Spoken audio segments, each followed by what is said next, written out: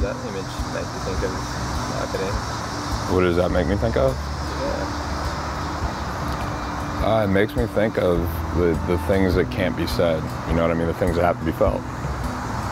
You know? And when you see certain things, they're not things, oh, they're things that can't really, you can't get them in words. You gotta, you gotta feel them, right? And, um, that's what it, might be lacking in, in, in out there and uh, in general. And as soon as you add that, as soon as you add the, the soul to your business, your soul, um, or better said, as soon as you add your soul to your business, your business becomes whole.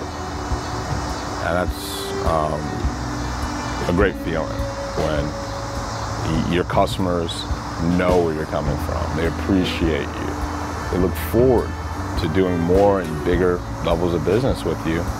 And it's just because you're being you. Imagine waking up. I mean, this is this is some realness.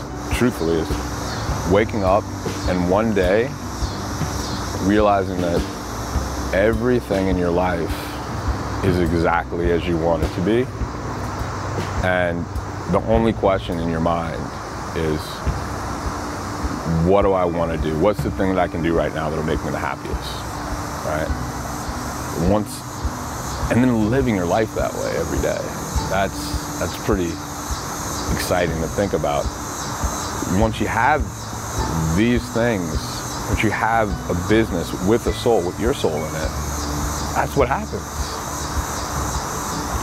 You wake up and you realize life is perfect and everything you do is exactly what you want to do.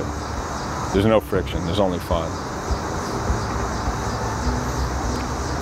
It's not a bad journey, you know?